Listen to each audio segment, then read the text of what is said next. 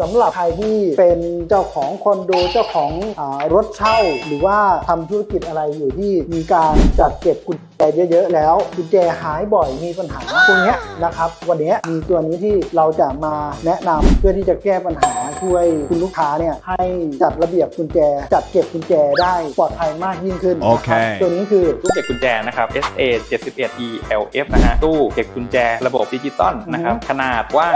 29.5 เซนติเมตรสูง 39 เซนติเมตรลึก 12.5 น้ำหนัก 8.4 กิโลกรัมนะครับครับ มีช่องหย่อนกุญแจโดยที่ไม่ต้องเปิดตู้ได้ด้วยนะครับถ้าสมมติในกรณีที่แบบว่าสมมติเราเราเปิดเป็นโฮมสเตย์อะไรอย่างนี้แล้วให้ลูกค้ามา check out ด้วยตัวเองด้วยการคืนกุญแจนะครับแล้วก็คือสามารถหย่อนกุญแจเมื่อปิดกุญแจก็จะหลอกอ่าเข้ามาข้างในสมมติถ้าใส่ใช่ไหมฮะเออแล้วเรากดปิดปุ๊บ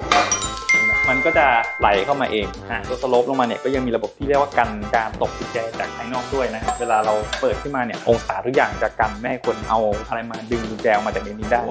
การโจรกรรมกุญแจอ่าจากภายนอกได้ตัวชั้นกับตัวป้ายเนี่ยแถมให้หมดเลยนะฮะตัวแขวนแบบนี้สามารถรองรับกุญแจได้ 71 ดอกนะครับมีมาร์คให้ด้วยนะครับแบบนี้นะครับที่เขียนว่าห้อง 704 705 อะไรอย่างนี้ ตัวนี้ใช้งานง่ายนะครับเป็นระบบมีกุญแจกับรหัสนะฮะกุญแจ